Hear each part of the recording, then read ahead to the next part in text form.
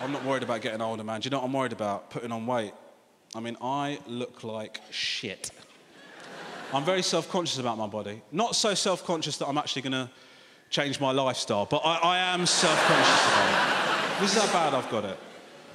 I woke up one morning, I went to the bathroom, I looked in the mirror, I was so disgusted at the chocolate blancmange abomination that was staring back at me that I went back to the bedroom and I apologized to my wife for my appearance. And she accepted my apology.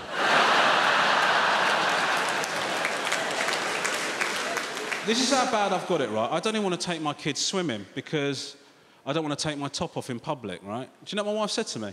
Just wear a t shirt. oh, yeah, that'll distract any attention, won't it? One knobhead in the corner of the pool, wet t shirt clinging to his torso.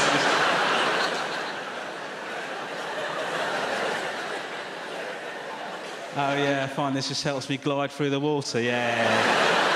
no, no, no, he's not breastfeeding, we're just having a laugh. I think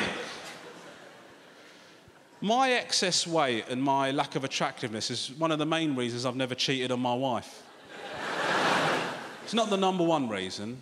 The number one reason is because I love her very much, but thank you. But a close second is lack of opportunity. I, I mean,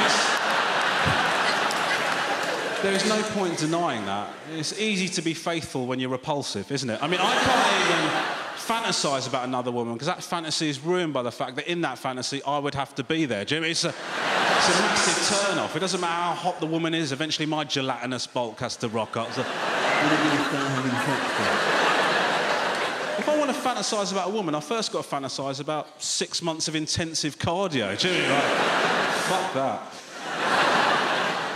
This is what I find helpful about Facebook, right? What I find useful about it is it enables you to identify which of your friends are twats, basically. Because what happens is when your friends speak to you, they just tell you what they think you want to hear, or they sort of like keep their real opinions to themselves. But on Facebook, they post up what they really think.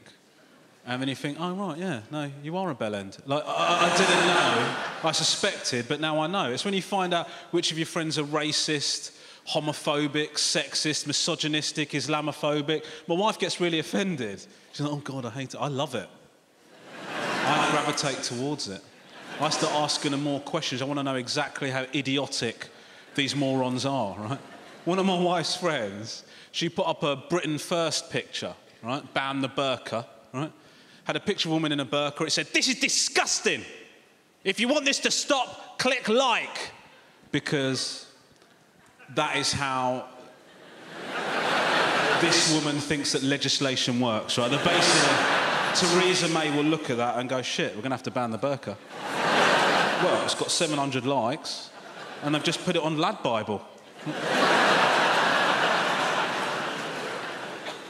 anyway, straight away, right, my wife defriended her. She said it's racist. Now, I don't know if she really thought that, or she was doing it out of solidarity with me. Do you know what I mean? I'm not Muslim, but I think she's just trying to show that she's down with the Browns. You know? anyway, straight away, she defriended her. Fuck that, mate. I added her. I sent her a message. I don't like Muslims either. Let's see how deep the rabbit hole goes. Do you know what I mean? but it does make me nervous. It makes me nervous because I think, shit, you know, what does this mean for my family. I'm married to a white woman. Do you know what I mean? I'm telling you that because it's important for the next bit. I'm not showing off. but I'm not one of these ethnic minorities that remain within their own communities. I'll move to your neighbourhood, I'll take one of your jobs, I'll shag one of your women. and I will bring the property prices right down. That's just how I operate. Sometimes I think I'm having more children just to piss off the neighbours. Do you know what I mean? Just another brown one, mate.